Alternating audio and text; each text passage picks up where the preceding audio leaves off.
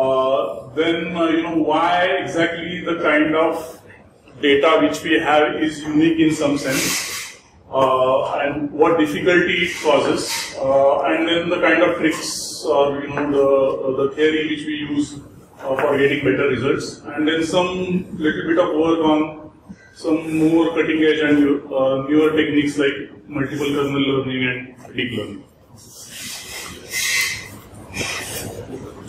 Uh, so essentially the idea is of machine learning is you have a set of essentially you have a set of vectors. Uh, X is a matrix, like each row is a vector, and then those vectors get mapped to a function. So essentially what we want to identify is what that function f is from the multiple points which are given to you uh, from the data set.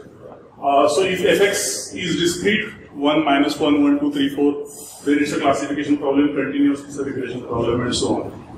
Uh, so for financial stuff, uh, uh, you know, so I mean the problem is as simple as you know, I'm trying to predict how many uh, of you know what uh, Nifty is. Okay, so many of so basically it's an index which is traded in Indian market.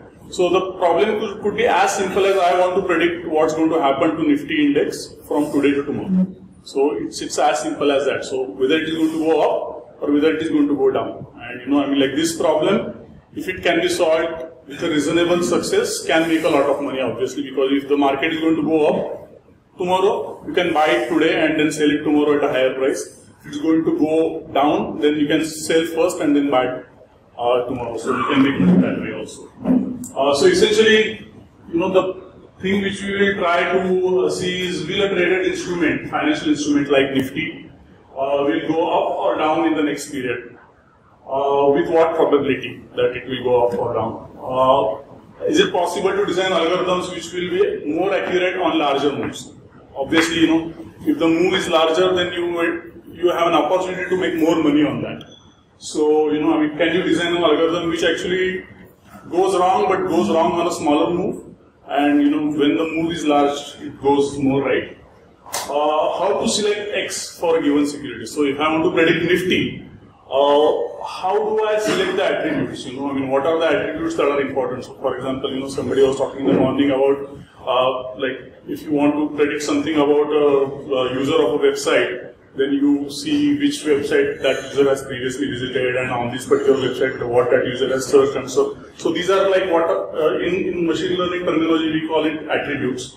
So how to select these attributes so that it becomes easy for predicting the you know binary move whether it is going to go up or down. So that becomes you know so that is where all the domain knowledge. This is selecting X is where all the domain knowledge comes into picture. So everything else is sort of done automatically by the machine learning algorithm. Yeah. So your X is the parameters that you use, right? Yeah. So uh, there's a lot of things that happens in uh, financial instruments happens in real time. Yeah. Like if uh, the finance minister says something, Yeah. that is an X. So Yeah, so uh, depending on what kind of problems you are uh, focusing on, that could be an uh, input. Uh, we are not using that. We are not using text mining kind of a work. So, uh, for example, you know, I mean, uh, what financial finance minister says, or you know, what company CEO says when the earnings come out. You know, there are companies in the world, not in India, I think, but like there are companies in the world who actually do text mining to analyze, you know, whether the CEO, whatever CEO is saying, whether it's a positive thing for the future stock price or negative thing for future stock price, and you know, those can also be used as attributes over there. We are not doing that right now, but you know, that can be done. Uh, uh, another thing is which method of learning we should choose. Uh, you know, I mean, like here, again, as I said, you know, it becomes very important because any small improvement we can get in the predictive accuracy goes a very, very long way in terms of making a uh, what we call a strategy of prediction from uh, loss making to profit making. And if it's already profit making, then it's like profit increases, and then you know uh, that that can be a a millions and probably billions of uh, dollars of money. So, uh, uh, so and like you know, for a learning algorithm, how do we at least check whether it would have worked historically? So essentially, you know, I mean, like financial markets have a history of let's say five or ten years, like you know, relevant history. Uh, what would you you would like to do is you know you would like to design an algorithm and then at least test whether it would have worked historically if we had applied it at that particular time. Uh, and you know, I mean, like if if it would have worked historically, then there is some chance, not guarantee, that it will work in future also. But if it if if it didn't even work historically, then there is no chance that it will sort of work in future.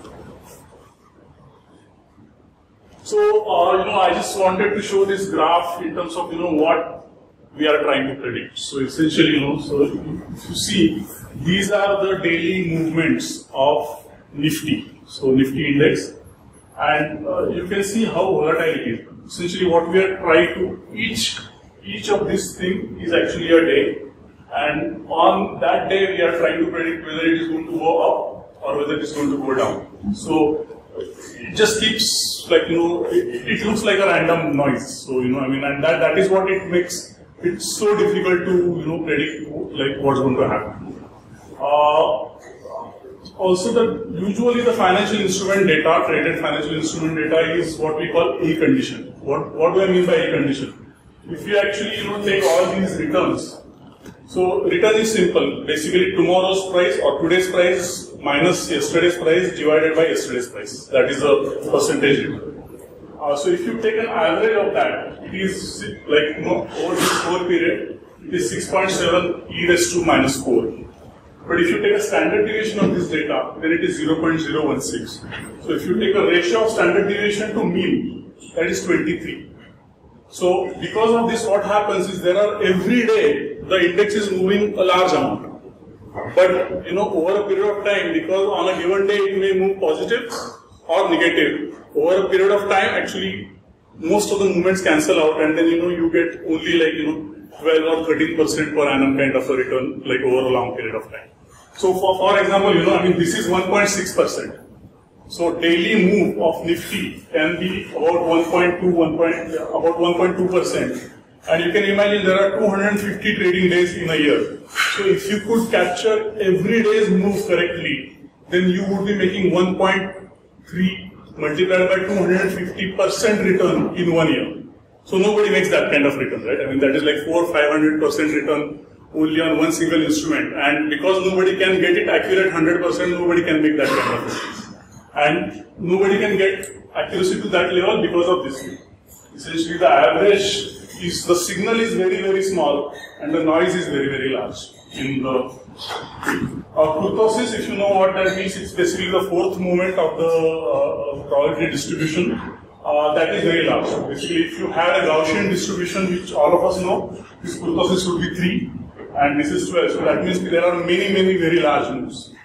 Uh, also, if you have heard about Six Sigma events and stuff like that, then Six Sigma event is basically 350 times more likely to have a Six Sigma event as compared to, you know, a Gaussian uh, distribution. So all these things and including non-stationarity. Basically, if you see, there are small moves over here, there are large moves over here. Because of that, you know, the distribution from which these moves are coming from also changes over a period of time. So, any questions? So x-axis is just days. So basically this is uh, January uh, 2003 I think. yeah, so that is January, 1st January 2003 and this is like you know 3 days back when I actually created this presentation.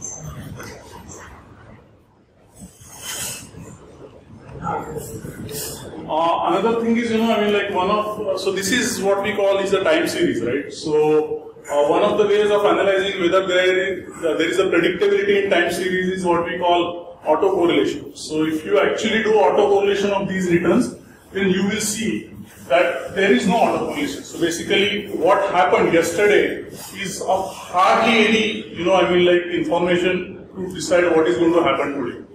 And this is why, you know, most of the linear methods will become almost useless as far as, you know, I mean like, uh, especially if you do it as a univariate analysis. So if you just use uh, Nifty data of last five, six days and try to predict what's going to happen tomorrow, that is not going to work very well because, you know, there is no autocorrelation over here. So there is no dependency on what's going to happen tomorrow over last one, two, three, four, five, six, up to whatever, 20 days.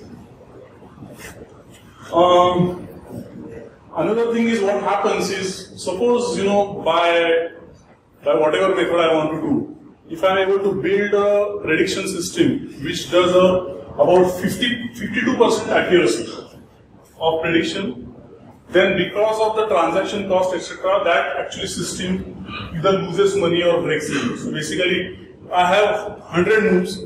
On those, I need to be right only in 52 times and then wrong 48 times.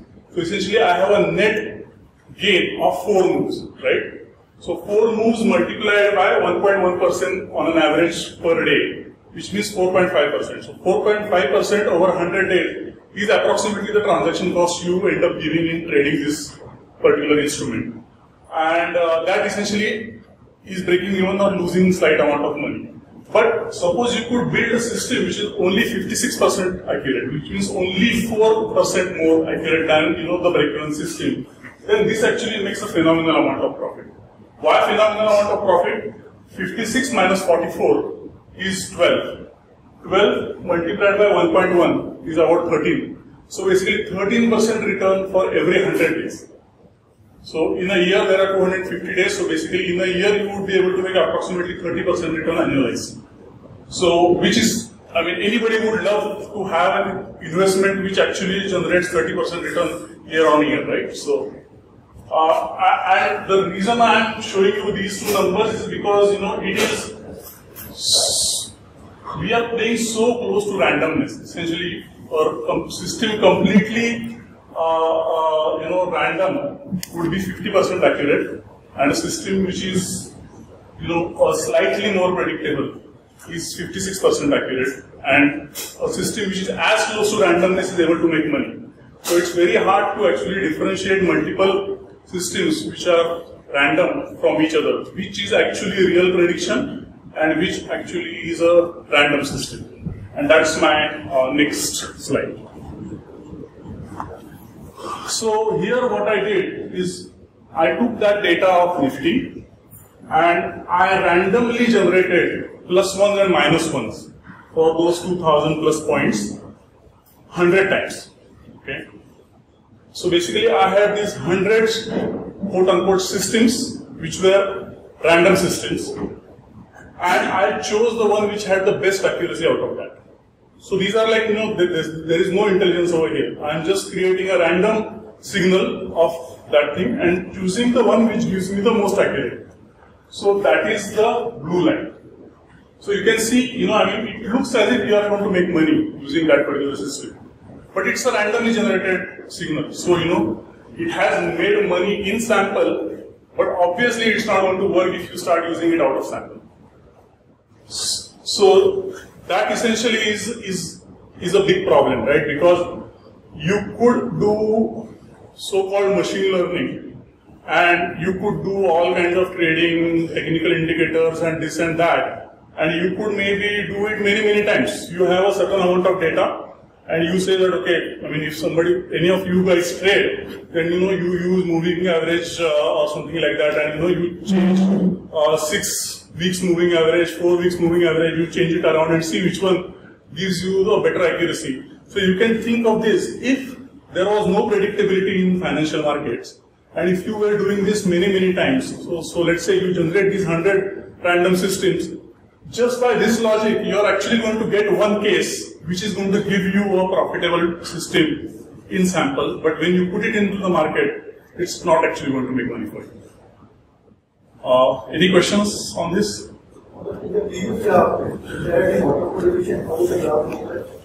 So, okay. So, uh, if this was much higher, so basically this is the first line. So let's say if it was at 0.4, that means what's going to happen tomorrow is positively autocorrelated with what happened yesterday. So if yesterday's return was positive, then it's going to happen that tomorrow's return is also going to be positive. If it was below, then it means it's going to be negative. Y-axis is the strength by which you know the adjacent moves are correlated with the each with each other. So you are saying about the hundred moves. So every time you are making the same same amount of money you are investing. Hundred times. Sorry. Uh, you are saying hundred moves, right? uh, that you are saying that 56% is accurate. Hmm. So you are making same move every time, 100 times. No, no. So what I'm saying is, if you have 100 moves, the average size of each move is 1.1%, average. So some of them are much larger, some of them are much smaller, but the average size is 1.1%. So on an average, if you were going wrong uniformly, uh, independent of the size of the move, then what would happen is 56% accuracy system would actually end up giving you what we call edge of 56 minus 44, which is 12 percentage. So basically, for every 100 moves, we are doing 12 moves better than, you know, I mean, like basically, we are there are there are net 12 moves which we are going to make money. Basically, 44 moves are going to be positive by random uh, chance, 44 moves are going to be negative by random chance, and 12 moves essentially we are going to be able to predict correct. And so this 12 multiplied by 1.1 becomes approximately 13%. So for 100 moves, which is 100 days, which is approximately half a year, in half a year you actually are able to make 13%. Yeah, So- like, uh, just, yeah. uh, in 100 moves you were saying about the first day. Uh, I am, I am actually investing in uh, 1 lakh per day. Okay. So 100 moves should be equal, right? When you are calculating that you are 13%. So every day I need to invest 1 lakh. So then I can. Uh, Uh, yeah, I mean, there are different ways of investing. Actually, uh, we, are, we are not talking about investing right now, but what you could do is you could invest 1 lakh rupees or 1 rupee every day. And then in 100 days, what you would end up doing is, if you are investing 1 rupee, then you would make 13 paise. So that is what. So, uh, the uh, classification problem only classifies the direction of the movement, but doesn't uh, classify the Yeah. So, supposing you have uh, the up moves uh, which are smaller in magnitude, uh, and the down moves are relatively larger in magnitude, then you have different results. Uh, that is not, I mean, like, see, basically, we are not actually talking about whether the move is up or move is down. Whether we are more accurate on what kind of moves. Because we can make money for on up moves also and we can make money on down moves also. So essentially, you know, as long as your accuracy is same for both kinds of moves, you would on an average end up making the same Let let me, uh, let me rephrase the question. which is the fifty percent of the cases that uh, fifty-six percent that you are accurately able to predict. Uh, you know, the direction is what you predict, Yeah. not, not the magnitude. Not the magnitude, yeah. Because direction prediction is hard enough, your magnitude prediction becomes even more difficult. So, but yeah, there can be a regression type of models where you know you're trying to predict magnitude and then do investment based on that also. So, but right now we are mainly focusing on uh, direction prediction, but we try to take care of magnitude in some other way in that in our practical work. As an efficient market analysis, it is possible to predict market right? So what does uh, make you believe that predicting market possible India? Uh, so efficient markets, I mean, like that's mostly in academia. Nobody believes that. Uh, otherwise, this whole financial industry of trillions of dollars would not exist. So uh, that is mostly for academic reasons, and that has been put there because you know, I mean, it makes proving certain theorems easy. And actually, efficient markets mostly are used in a way that okay, efficient market is an equilibrium state. So that actually gives you a way of measuring of whether the current condition of the market is actually much away from the equilibrium. So you know, it actually works as actually a trade generation mechanism because you know you are not if you are not in the equilibrium state, so you will be able to actually you know measure how far you are from the equilibrium state and then take a trade on it. So uh, it's probably little complicated, but we can talk offline later. Uh, The absence of auto correlation does it imply that we cannot use the historical solution to predict? Uh, absence of autocorrelation implies that we can't use linear uh, univariate methods to try and predict uh, this particular security. Linear univariate. So basically, I mean, you know, I mean, I could have a variable which is not dependent on itself at all, but it is dependent on something else which I have access to. So then that is a multivariate model. Parameters in the regression model, but I can't use the same parameters. So I can't use, you know, last four days of Nifty data and expect that you know, I'll be able to predict. I'm sorry? I can't use the historical simulation. Does Univariate. Univariate means if, if I'm looking at only behavior of Nifty, then I don't have a chance of predicting Nifty in theory by using linear methods. Non-linear method there could be, I mean, because autocorrelation only works for linear uh, uh, uh, modeling methodologies. When you use the random numbers, all the the same numbers or you take something the or So it's just a normal pseudo-random number generator. But your spherical data also shows that it is, uh, spherical data is not normal. Uh, I'm only, see, basically I'm randomly generating whether it is plus one or minus one. So whether I want to go long today, whether I want to buy the security today or whether I want to sell the security today. So the rand n or whatever normal random number generation which I'm using actually has no relevance in this particular case. Because I'm only doing the signals. I'm taking a sign of the random number. In terms of the, uh, your uh, spherical data, where uh, you see uh, in three days or six months. Yeah, yeah. That actually, so that's what I'm saying. My simulation process and my historical data are not really connected. So, I mean, we can maybe talk about this offline later. Yeah. you said that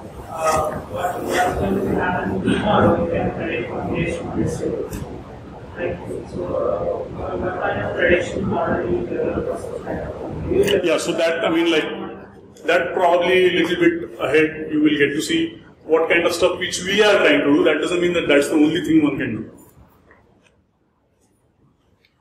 Okay, so exactly to answer your.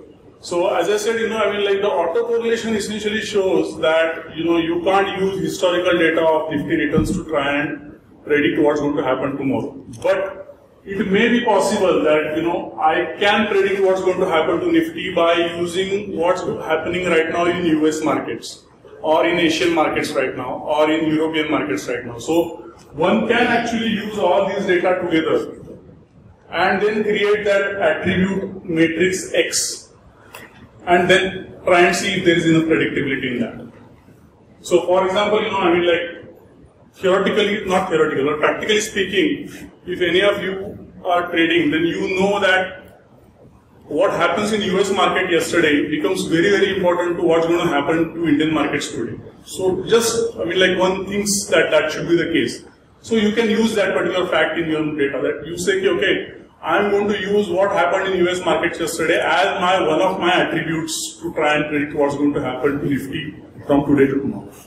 Similarly, you can do it, let's say, you know, what is happening to gold is very important to, know, what's going to happen to security markets because, you know, usually they have opposite relationship. Whenever there is a danger that economy is going to fall into inflation or something like that, gold is going to go up and then, you know, equity markets are going to go down. There is an opposite relationship. So let, let's use gold, what's happening to gold right now and then use uh, you know, some kind of machine learning algorithm to actually understand what, uh, you know, how that effect actually gets uh, uh, modeled.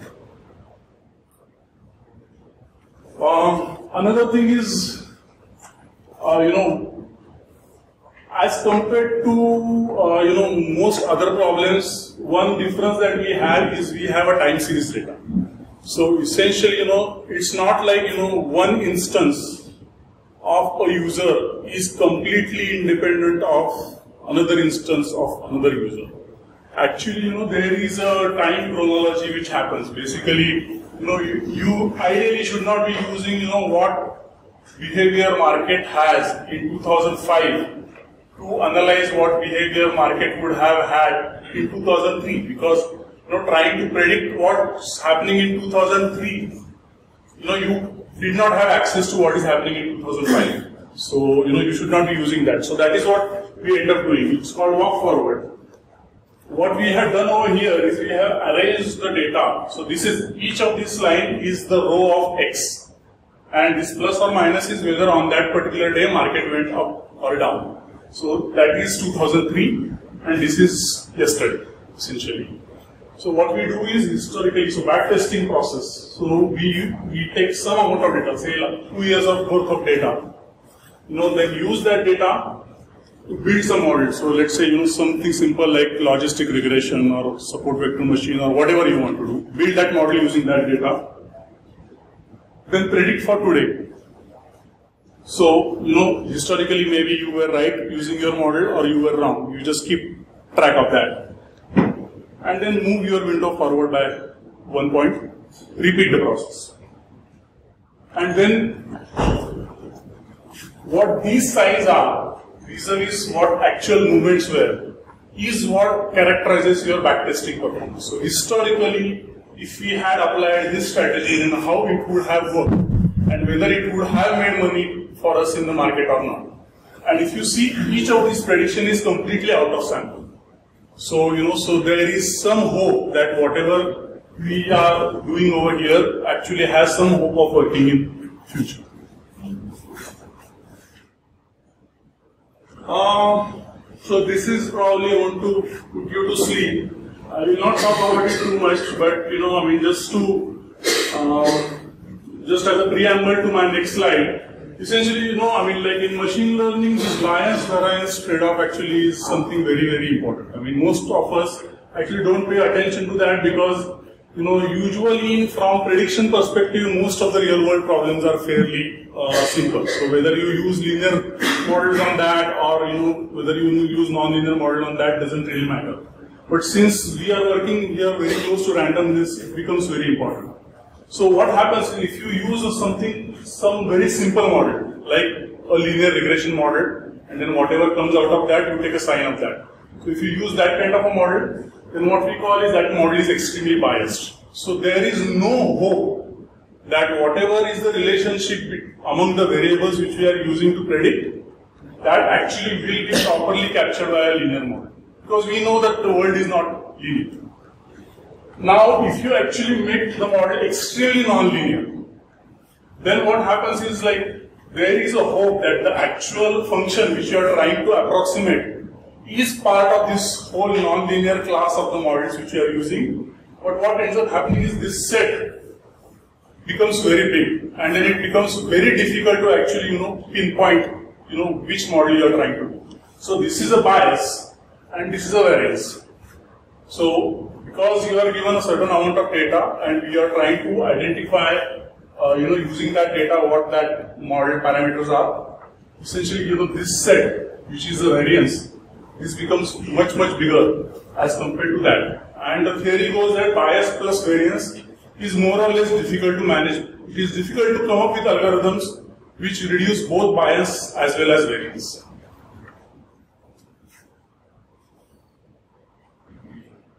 So what we try to do, uh, some of the uh, things which we try to do to try and, so uh, I mean like, let, let me try and emphasize, you know, now over here, uh, the motivation is that, you know, if we can do something which robustly improves our prediction accuracy by even 1% or 1.5%, that is actually a very big deal for us because, you know, it ends up increasing our returns by 4 or 5% per year. And increasing annualized returns by 4 or 5% per year is actually can be a very large amount of money. So what we do is, you know, I mean, bagging probably you guys have heard about bagging. So what bagging is essentially, you know, you have the data set, you essentially, you know, sample sub data sets from that, use the same methodology, and then whatever are the samples, you essentially do the averaging of that, uh, and then use that as a prediction. Then multiple learners on the with different underlying theories. So let's say you have a support vector machine. Logistic regression has a simple, similar philosophy, but then you have random forests or trees, or you have a Bayesian approach of trees. So you have you have been given a data, you apply these various models to it, you try and predict the same uh, thing out of that. Some because it is so close to randomness, sometimes SVM will be correct, sometimes logistic regression will be correct, sometimes your random, random forest will be correct, correct. And then when you combine these, there is a hope that you know, I mean, this combined system, which is an averaging system, works actually better uh, in practice. Uh, then multiple kernel learning. I'll talk I don't know if I'm going to get time, but I'll talk a little bit more detail about that. Then combining unsupervised and supervised learning. So essentially, you know, your data set may have some clusters. And you know, you can actually train your supervised learning model on one of the clusters and you might actually do better on that. Uh, boosting, if you know what it is, it is not very useful because financial data is very noisy data, and boosting generally doesn't work with uh, noisy data sets. Um, in general, you know, whatever you find in theory, generally you will see that things work a little bit worse on financial data because of the amount of noise that the data has. Also, another interesting thing is market learns and trades against you. So basically, if you are running a successful algorithm for long enough time, other players in the market. So essentially, financial markets trading, for you to make money, somebody has to lose the money. Obviously, nobody likes to lose the money, so they really fervently try and you know learn what you are trying to, what you are doing, which makes you make money, like you know, in the long term. And then they learn that, and then they trade against you. So basically, if they know that you are going to take a long position, they may actually, you know, before you actually take a long position and take the price of the security up before you actually buy it. You don't use index to reduce the hash Um, no, I have not used it yet. Um, uh, but there are people who use it. So there are wavelets, Fourier transforms and stuff. People use that to, uh, uh, yeah. So essentially, take a line from one of the movies, three things are most important: averaging, averaging, averaging. So so uh, actually, three things are like really bad also. Optimization, optimization, optimization. So if you actually try and optimize your model a lot, it actually works really badly for financial markets in out of sample. Averaging is a really nice process too. Uh, so as, I- as I said, combining multiple methods. Generally, you know, uh, so I'm being very secretive, uh, not very, but little secretive over here. I'm not telling you, these are the real results. I'm not telling you what assets I have applied it on, and I'm not telling you what methods I'm using. But uh, still, uh, the point I'm making over here is, you know, this is the kind of improvement we look for. So, like if you see this curve, this is the averaging process, the black one. And you know, I really like this because across the methods, it's actually outperforming the individual methods which are part of the averaging process. So, you know, if actually this method performed very well on A6, but it performed badly on A1, generally I don't want to use it for A6 and discard it for A- A1. Because, you know, I mean, these are similar prediction processes, and generally I want things which work across the board. That is my way of taking care of the fact that I am not overfitting the data and you know something is going to give me great results in sample but not so great results in out of sample. I'm sorry? It is not in one case, but in most of the cases it is. Oh, it is oh, where it is not better? I think over here. This one is better. Huh? That is white. So whatever Excel, I mean, I didn't change the colors. So.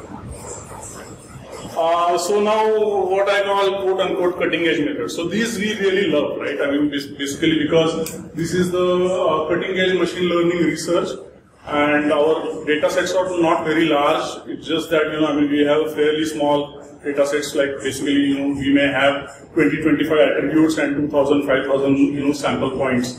And from that we want to apply the best possible method which is out there which in a robust way actually guarantees us that the, our predictions are right. So from that perspective, you know, we are doing what I would say a lot of core machine learning algorithms uh, because our attention is not so much on, you know, I mean like how to clean the data and, you know, how to make sure, uh, you know, some of the other things are uh, like taken care of.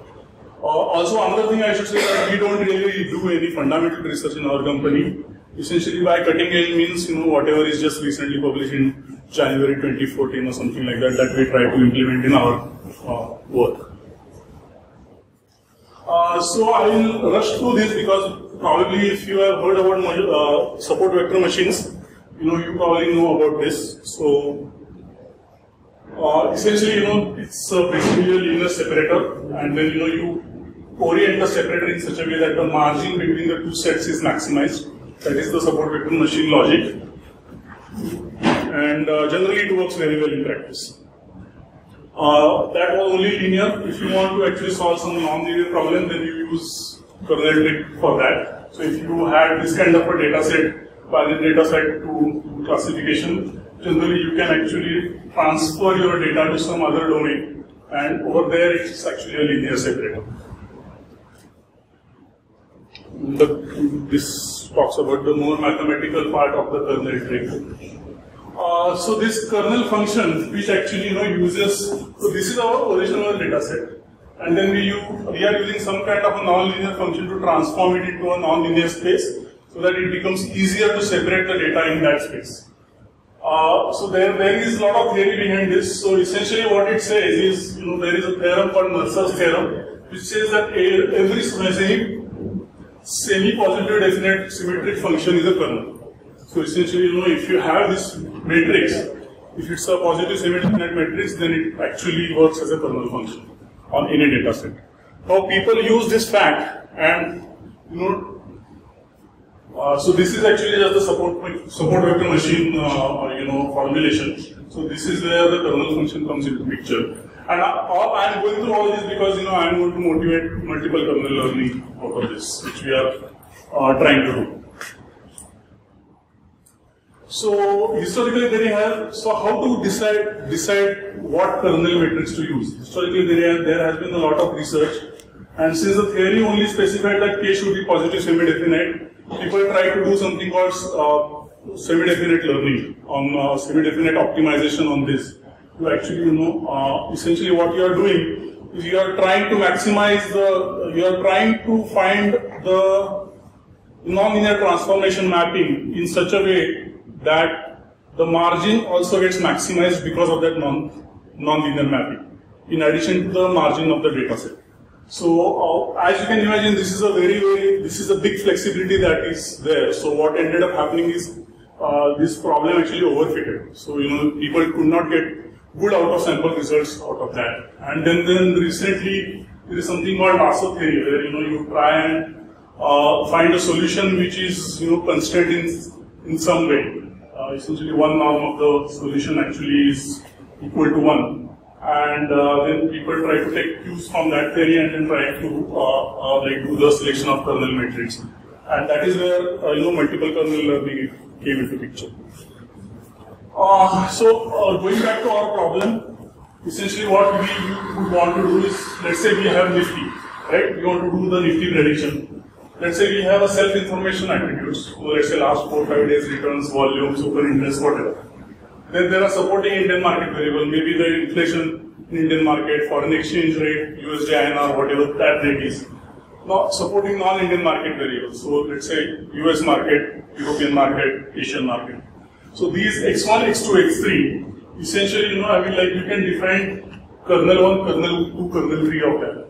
And then do a x1 multiplied by kernel 1 plus x2 multiplied by kernel 1 plus x3 multiplied by kernel 1 and then work under you know this uh, one norm of x which is x1 x2 x3 is equal to 1 and then you try and solve the joint optimization problem using that. So that's the multiple kernel learning. That's a fairly recent work which is out there and which we try to use it again same assets uh, one kernel learning. Uh, usually we end up using RBF kernel, if you know what that is. And then multiple kernel learning we try to do on that. And generally again the goal is to, you know, on everything you should do slightly better. We have not been too successful at it yet. These are like a bit lower than, you know, the one kernel learning. But some improvements are there. So we are not going to apply it into practice yet because, you know, it's not consistently working as well. So then, if you have heard about something called deep learning, that's actually a big deal these days. Uh, I don't understand that topic very well. Uh, essentially, from a layman's perspective, all I see that normal neural networks have one hidden layer, deep uh, networks have multiple hidden layers in between. And what ends up happening is, you know, essentially, each of these nodes uh, starts becoming specialized for a particular type of uh, samples. So essentially, you know, Google actually did a big uh, like project like a couple of years back where they using this deep learning they identified uh, which images had cats in it. So, uh, so that was actually you know something which we tried to do a little bit, not at all successful at it. Uh, but it's a race. Uh, if you actually learn about it, start a company, you won't have a problem getting it funded. Uh, somebody will probably in a couple of years buy you out for hundreds of million dollars also. Uh, so somebody from you should try it. And um, you know the good thing about this is that you know I mean like um, how to say what ends up happening is you know if you feed enough data to this, then each of these node becomes specialized for a particular type of uh, you know object. So for financial data, it could be that like if you feed enough financial data, then this node will become active for a certain kinds of behavior of financial data. This node will become active for certain other kinds of behavior of financial data. And you know, because of this, I don't actually manually need to decide which attributes to use. I can throw a lot of data to this thing, and you know, I mean, hope that you know, automatically it's going to understand, you know, what kind of combination of different data sets actually make things uh, easier, and then use that as a predictor.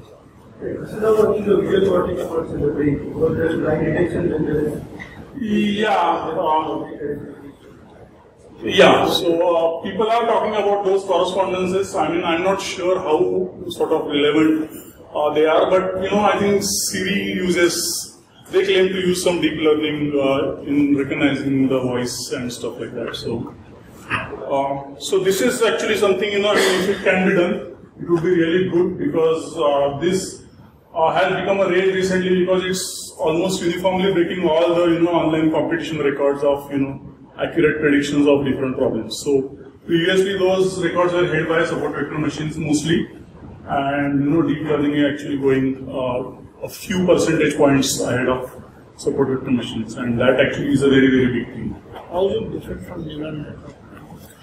Um, so I don't understand about it enough. So what happens is like if you put lot of uh, layers in the neural network, it becomes extremely difficult to learn because you know uh, it works on something called gradient descent, and those gradients vanish when you actually start computing them. Because you have multiple layers, those start vanishing, and because of that, it becomes computationally horrendous to keep track of you know all the calculations.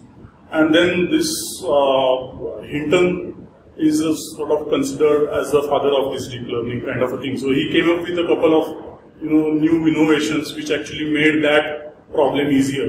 And then that from that point onwards, actually, it started becoming a viable uh, solution for different problems. Evolution on the same kind of techniques. Yeah, so uh, I mean, I don't know if there is like a fundamental difference between a new, simple neural network and a deep uh, network, other than you know the kind of algorithms you use to train them and make sure they don't overfit or you know I mean, they do the training. Uh, so little bit about you know I mean I, I already talked obviously a little bit about you know what we actually do. So uh, we have multiple strategies which are running uh, you know in the market and you know we are making money sometimes losing money sometimes. Uh, net net we are making a little bit more than we are using because we have been in the market for last four years. So I guess some money has been made. And this is the kind of stuff which we are able to do. So this is basically, this is the real graph. Actually, this is the, the red curve is the real money made. This is the nifty behavior. And this is how our portfolio has performed. So, you know, I mean, so these are, this is all real numbers. So there are no simulations and randomly generated signals and stuff like that over here. Uh, that's it, basically. Uh, uh, we are a small company of like eight people, and that is what we do day in and day out. I mean, just try and apply machine learning to financial prediction problems. Yeah.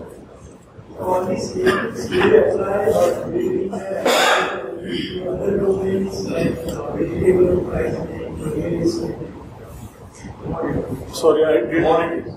Commodities, right? Yeah, we do actually. Some of those A1 to A6 were commodities.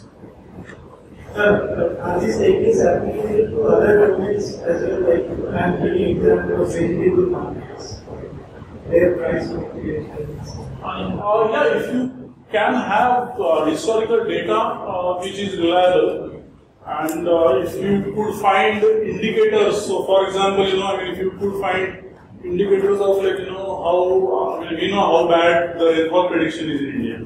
So, but if you had a reasonable rainfall prediction, then actually it would be very nice to use that to actually do prediction of this. Now, these predictions, how you would use is a different story because, you know, uh, vegetables, etc., etc., are perishable. So you couldn't actually, you know, buy it and hold it for next three months. Other than the fact that, you know, now government is also making holding, you know, non-bailable offense, but uh, that, that's another story. So how you could use these predictions is a different story. But the theory doesn't actually, you know, I mean, like you could apply it if you, I mean, if you know that field well enough. And is everything connected to the inflation index? No, uh, I mean depends on. Uh, so normally, I would say you know, I mean now in Nifty we are using about 20 different uh, variables to try and predict what's going to happen to Nifty today. So you know, so that will have some Indian market variables, some you know, I mean like inflation-like variables, some you know gold prices, you know maybe copper prices, maybe some global market, you know. So whatever you can think of, which actually you know, I mean like so that process right now is manual. So that is where domain knowledge comes into picture, where you know actually I sit there and think, you know, I mean like what kind of variables would be relevant for predicting Nifty, and you know then try out a few. Over there also I can't try. I mean I can't say that okay these are like 2,000 variables. I will use 20 at a time, and then you know I will put it through a simulation because that will become exactly same as you know doing 100 random simulations and choosing the one which is actually the best out of that. So uh, that is why I said, you know, optimization in this field actually is the worst possible thing you can do. You can't really do this where, you know, you are running 100 simulations and choosing the one which actually gives the best results and say that, okay, this is the one what I'm going to implement. So, how long do you think uh, it take for, uh, like you said, that an algorithm in a stock market situation as its life? Because there will be someone else who start trading against that algorithm. yeah. So how long do you think you, like, you just saw that you're successful? How long do you, so what's your strategy for? So, uh, in theory, machine learning should take care of that, right? Because, you know, machine learning is what learns from the market behavior. So, essentially, somebody else is trading against you, but you are learning the fact that somebody is trading against you. So, you can incorporate that information in your machine learning and then, you know, your algorithm improves. So, for example, you know, I mean, let me give you a concrete example. So, let's say your signal is saying that okay, buy something today, and somebody has already identified that you have a system actually which tends to say buy on such days. So he comes to market one hour before and buys a lot of that quantity. So by the time you buy it, the price has already moved up. But then your algorithm, if that happens enough times, will understand that okay, somebody is actually doing that to you. So you know, so now from here you should actually go short. So you should sell that security because the up price which has moved up, taken up by this particular guy or multiple guys, from there actually by tomorrow actually the price goes down. So eventually, you know, I mean, that can happen. So this process will keep on going until you know the market comes to a complete equilibrium where there is no underprice or overpriced security. But that's I mean doesn't happen because you know there are so many different players with so many different philosophies and so many different horizons of you know. are there any human beings trading in the market? Uh, yeah, I mean I think still majority of them are human beings. So that is where uh, one tends to make money. So, I mean, it's not possible to make money and trading against the machines. So, Because you have to, India, given the context that, you know, there are there are no specific laws against insider trading and lot of. there are laws. They are implemented or not, that is something. So there is a lot of, uh, you know, big uh, prices and how does this algo Okay, so uh, it's very hard to actually do a uh, you know genuine algo which actually will do better than insider trading, obviously. But generally, you know what we have observed is when we tried to apply these kind of algorithms to individual stocks, it was very difficult for us to make money. Because what happens is there are pockets of investors who actually know the CEO of that particular company and you know they get the information, so they move the stocks. So it's very hard for our algorithm to make money on that. But whenever we do like this widespread uh, security like Nifty or something like that, there it works because you know there there generally people are not big enough to actually know the inside information of you know whole economy or something. That makes sense.